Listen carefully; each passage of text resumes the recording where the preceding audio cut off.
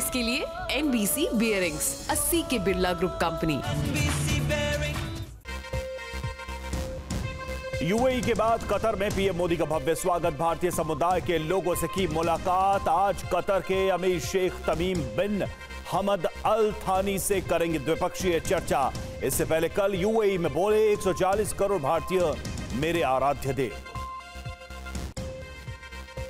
केंद्र सरकार और किसानों के बीच तीसरे दौर की बातचीत। आज चंडीगढ़ में शाम पाँच बजे अर्जुन मुंडा, पीयूष गोयल और नित्यानंद करेंगे चर्चा। किसानों ने शाम तक के सभी विरोध प्रदर्शन रोके।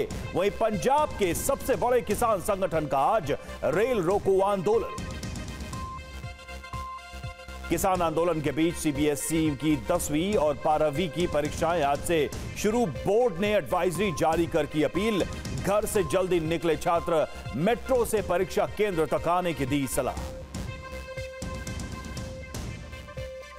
विवाद के बीच राजस्थान के स्कूलों में आज से सूर्य नमस्कार। राजस्थान मुस्लिम फोरम ने किया बहिष्कार। का मुस्लिम छात्र सूर्य नमस्कार में नहीं होंगे शामिल। सुबह साढ़े दस बजे से ग्यारह बजे तक स्कूली छात्र करेंगे सूर्य नमस्कार। बंगाल के संदेश खाली, हिंसा पर बीजेपी अध्यक्ष जेपी नड्डा ने बनाई छह सदस्यीय जाँच कमेटी, दो केंद्रीय मंत्री और चार सांसद शामिल। घटनास्थल पर तथ्यों की पड़ताल करेगी कमेटी।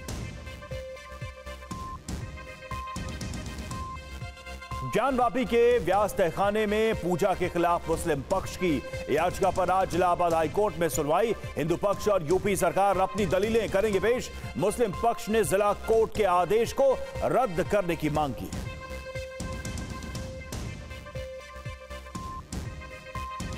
लंबी रेस के लिए एनबीसी बियरिंग्स 80 के बिरला ग्रुप कंपनी।